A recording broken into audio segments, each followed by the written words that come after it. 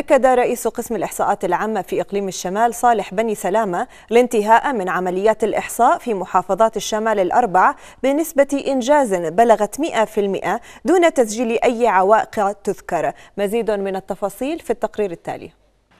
اتسمت بالسهولة واليسر وبلغت نسبة الإنجاز فيها نحو 100% هكذا وصف رئيس قسم دائرة الإحصاءات العامة في إقليم الشمال صالح بني سلامة عملية الإحصاء في محافظات الشمال التي تمت دون عوائق تذكر على مدى عشرة أيام مضت.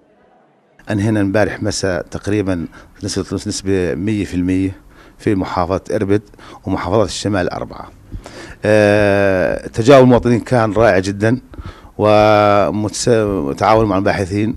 آه، الجهات الرسمية كلها ساعدتنا.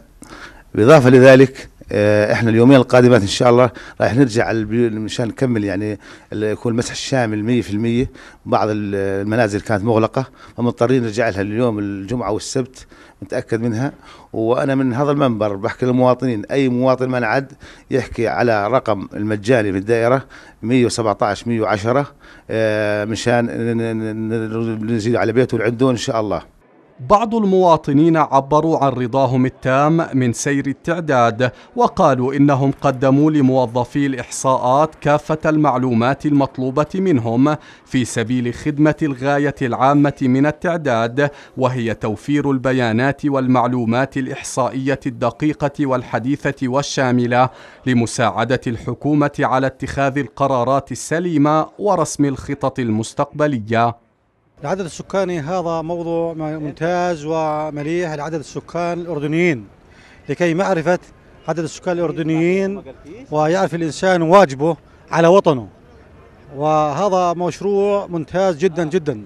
طبعا تعداد السكان الحمد لله إحنا يعني آه، مع التعداد. وكان مصلحة المواطن بصب ما دام إنه بصب مصلحة الوطن ومفيد للوطن إن شاء الله إحنا مع التعداد.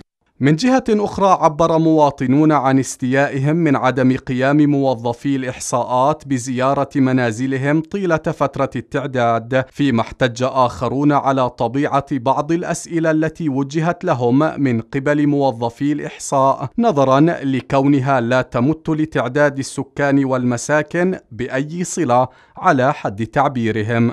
مش هذيك الأسئلة شو يعني بدهم يعرفوا الأجهزة الكهربائية شو دخل هاي بالتعداد السكاني لازم إنه كان يعني بس على عدد أفراد الأسرة بس انتهت عمليات التعداد العام للسكان والمساكن إذا في إقليم الشمال وما زال بعض المواطنين يتساءلون عن مدى مساهمة مخرجاتها في خدمة الأهداف التنموية والاقتصادية على مستوى الوطن بشكل عام والمواطن بشكل خاص.